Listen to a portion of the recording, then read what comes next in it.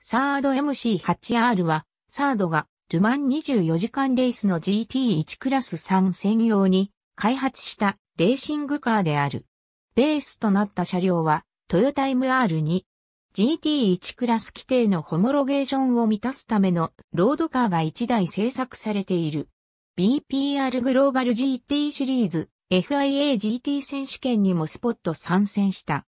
外観こそは SW20 型 MR2 の面影を残すが、モノコックのキャビン部分のみを使用して、ロールケージにて補強。前後のオーバーハングは、オリジナルのパイプフレームとなり、シャシー構成は、シルエットフォーミュラに近い。サスペンションには、かつてのグループシーカーのスペアが流用された。エンジンは、ベース車のみならず数々の GT レースで使用されてきた 3SGTE ではなく、KK 形成、ツインターボを装着したセルシオ用 1UG、FE エンジンを搭載している。これも開発にトヨタの協力を得られず、サードが独自に開発した。ルマン初参戦。カーナンバーは26。予選タイムは4分11秒03で31番グリッド。決勝はクラッチのトラブルでわずか14周でのリタイアとなった。吉川富子もドライブする予定であったが、基準タイムを超えることができず予選落ちし、決勝はアラン・フェルテ、ケニー・アチソンの二人のみでのドライブとなった。後の8月27日開催された BPRGT のシリーズ第9戦、鈴鹿ポッカインターナショナル 1000km 耐久レースにスポット参戦。カーナンバーは3で、ルマン参加車両とは異なり青にペイントされていた。ドライバーは、アラン・フェルテ、マウロ・マルティニ、ジェフ・クロスノフの3人。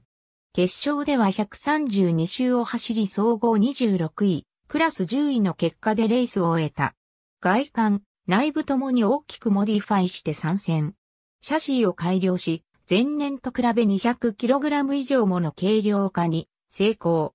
フロントトレッドを拡大し、ギアボックスをヒューランド製の6速からマーチ製の5速に変更している。カーナンバーは46。予選は4分09秒353で38番グリッド。ドライバーはアラン・フェルテ、パスカル・ファブレ、マウロ・マルティニの3人で、決勝では256周を走り切り総合24位、クラス15位で完走を果たした。後の8月25日に開催された BPRGET のシリーズ第7戦、鈴鹿 1000km にスポット参戦。予選タイムは2分06秒014で11番グリッドからのスタート。カーナンバーは46、ドライバーはアラン・フェルテ、マウロ・マルティニ、長坂直樹の3人。決勝は6周でリタイアとなっている。スープラでのプロジェクトが終了した本年度も2大体制で参戦。前年と比べさらに全体的に大幅な改良を施して参戦するも、予備予選でオリビエ・グルイヤールがタイムアタック中にマシンの不具合によりターボの下級圧が規定を上回るオーバーシュートが起きてしまっていたことが発覚。34、35号車ともにベストタイムが抹消される最低が下り、予備予選落ちという結果で、ルマンを終えた。